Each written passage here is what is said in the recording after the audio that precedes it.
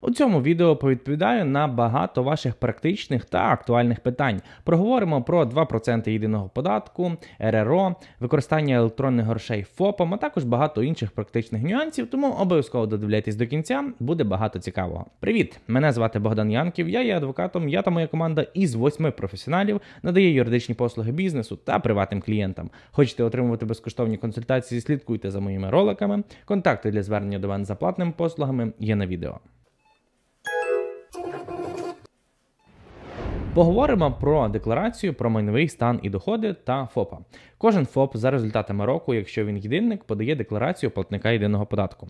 ФОП загальник подає податкову декларацію про майновий стан та доходи, тобто це різні декларації для різних ФОПів. І в даному випадку виникає перша проблемна ситуація. Якщо ви реєструвалися ФОПом у попередньому році на першій чи другій групі, то відповідно якусь частинку часу до того, як вам дали статус з першого числа місяця першої та другої групи, ви були платником на загальній системі оподаткування. А отже, ви повинні подати податкову декларацію про майновий стан та доходи за цей невеличкий кусочок часу. Проте змушений наголосити, що податківці неодноразово виступали із своїми роз'ясненнями, в яких вказували, якщо у вас немає ніякого податкового зобов'язання, тобто ви не отримали дохід і не будете платити податок, і у вас нульовий звіт, то цей нульовий звіт можна не подавати. Але знову ж таки, коли ви не подаєте нульовий звіт, потрібно розуміти, що згідно податкового законодавства строки позовної давності не йдуть, а це означає, що навіть за 15 років, за 25 років податкова за цей строк може до вас звернутися з претензією. Тому тут палка з двома кінцями. Це враховуйте, але саме штрафу за неподачі такого звіту у вас однозначно не буде. Також мушу додати, що якщо ФОП подає такий звіт, то там не потрібно писати перелік приватного майна приватної особи. Це не потрібно робити. Хоча з іншого боку, якщо у вас як приватної особи є дохід від інвестицій за кордону чи навіть в Україні, також у вас є дохід від дивідендів за кордону, дохід від оренди чи будь-який інший дохід, який у вас виникає саме як в приватної особи, то тоді ви знову ж таки зобов'язані платити 18% податку на дохід, 1,5% військовий збір, подати якраз цю податкову декларацію про майновий стан і доходи, але саме не як ФОП, а як фізична особа. Тобто це буде йти додатковим документом, і в ньому якраз вказується перелік вашого майна. До речі, нагадаю, що ця декларація фізичними особами подається до 1 травня. Доки буде працювати 2% єдиного податку. Згідно публічних декларацій влади, це має працювати. Ця система оподаткування має працювати до 1 липня. І якраз на виконання цієї обіцянки було внесено в Верховну Раду законопроект 8401. Нагадаю, що цей законопроект має скасувати серію податкових пільг. Ну, в першу чергу, звичайно, що 2% єдиного податку мають перестати існувати. Так само мають повернути обов'язкові застосування РРО, мають повернути документальні податкові перевірки, а також мають скасувати пільгу по єдиному податку для першої та другої групи ФОПа. Ну, з плюсів мають повернути перебіг строків позовної давності. Знову ж таки, як тільки внесли цей законопроект 8401, вже з'явилися чутки, що цей закон, скоріш за все, будуть затягувати, і він може не набути чинності до 1 липня, а пізніше. Тому знову ж таки маємо таку ситуацію, що, скоріш за все, швидше ніж 1 липня ця система оподаткування не втратить свою силу, а може втратити силу навіть і трішки пізніше. Тому поживемо, побачимо. Насправді головне питання, яке виникає при закінченні спецгрупи 2%, а що ж робити далі? Як повернутися на попередню систему оподаткування, чи що мені взагалі робити? Відповідно, в нас в законодавстві чітко прописано, що як тільки закінчується 2% єдиного податку, податково автоматично, без жодних ваших заяв, клопотань, звернень має повернути вас на ту систему оподаткування, на якій ви були до переходу на 2% єдиного податку. Тобто нічого робити для цього не потрібно, це все має відбутися повністю автоматично. Але якщо додати трішки специфіку, то тут знову ж таки з'являються деталі. А що буде, якщо, будучи на 2% єдиного податку, ви перевищили ліміт обороту своєї попередньої групи? На жаль, це законодавство не врегульовує, тобто прямої відповіді на питання немає. Хоча я просто так намагався не здатися і відповідно шукав хоч якусь відповідь на питання, і дивіться, що я знайшов.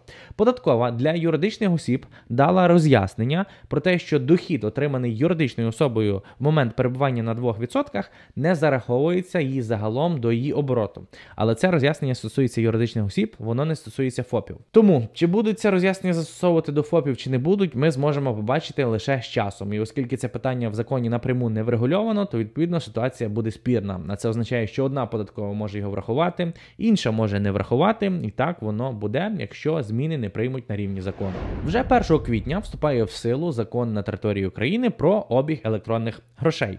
Це означає, що можна буде створити фінансову організацію, отримати ліцензію в Національному банку і випустити свої електронні гроші в обіг. Відповідно, в такої фінансової організації зможуть відкривати облікові дані і рахунок будь-які ФОПи та юридичні особи, і відповідно вони зможуть офіційно користуватися такими рахунками, робити оплати, а також приймати кошти на ці рахунки. Не варто путати електронні гроші з криптовалютою, тому що криптовалюта вона повністю децентралізована і взагалі в законодавстві не врегульована дотепер.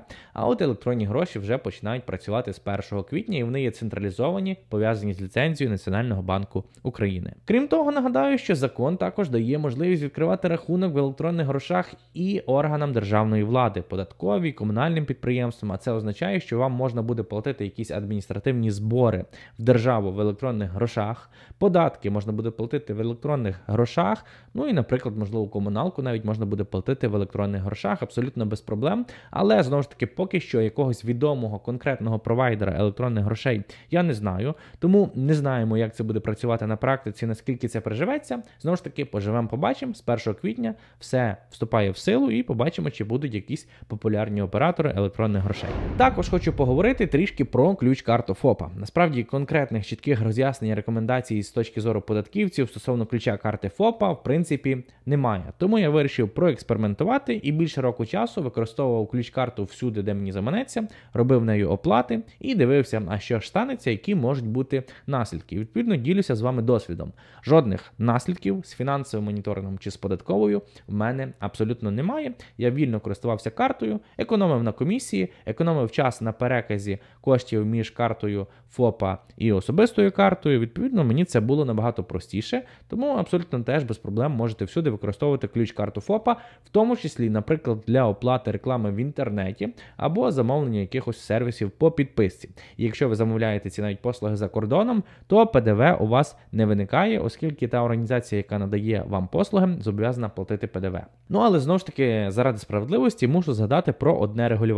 Якщо ви ФОП платите іншому ФОПу навіть з ключа карти, ви зобов'язані відмітити цю оплату у додатку 4DF в складі об'єднаної звітності. Якщо ви це не зробите, можете отримати штрафну санкцію. Тому, коли платите ФОПам, потрібно подавати цей додаток. Відповідно, не хочете подавати додаток, не платіть ФОПам ключем картою. Але якщо ви платите юридичним особам, наприклад, в великих супермаркетах або десь в інтернеті, чи, наприклад, платите податки, то відповідно зазвичай вам не потрібно подавати цей 4DF, бо ви тоді платите юридичній особі, на яку цей звіт не подається. Також мушу трішки проговорити про РРО та термінал для приймання оплати картою від клієнта. Це різні речі. Досі дехто ще путає і вважає, що це одне і те саме.